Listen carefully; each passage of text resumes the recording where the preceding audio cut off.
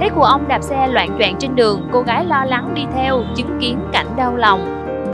Giữa phố phường đông đúc chen chúc nhau những chiếc xe nhỏ xe lớn, một cụ ông vẫn điềm nhiên ngồi trên chiếc xe đạp cà tàng, phía sau đèo theo vô số đồ đạc lĩnh cà lĩnh kỉnh, siêu siêu vẹo vẹo trong rủi khắp chốn thành thị. Nhìn thấy cụ ông đạp xe mà có phần không vững vàng, cô gái đã lặng lẽ chạy theo sau, đến có phố quen thuộc. Cụ ông dừng đổ lại, tháo dỡ những túi đồ xuống vỉa hè để tạm một bên. Ông lại lặng lẽ bước tới thùng rác, lục tìm rồi nhặt nhạnh lại một phần đồ ăn mà ai đó đã ăn gian dở để lấp đầy khoảng trống trong chiếc bụng của mình.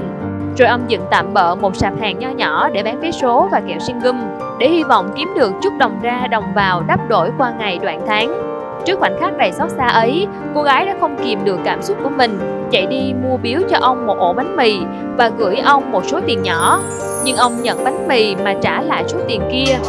Cụ ông 94 tuổi còn tâm sự thêm, số tôi chắc trời còn chưa cho chết, té nhiều rồi, bị người ta ủi trúng cũng có, tự té cũng có, mà không có sao hết. Thôi thì còn sống thì ráng sống tử tế, không muốn phiền tới ai. Lòng tự trọng và sự tử tế của ông đã lay động trái tim của rất nhiều người, từ bản thân mình vươn lên trong nghịch cảnh, không muốn phiền hà hay nhờ vả đến những người xung quanh. Một số chia sẻ được mọi người để lại.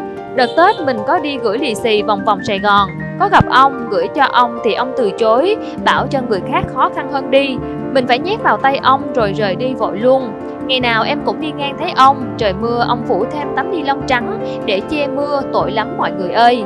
Nhiều người tự trọng không muốn ngửa tay nhận tiền của ai vì họ sợ phải mang nợ đến kiếp sau.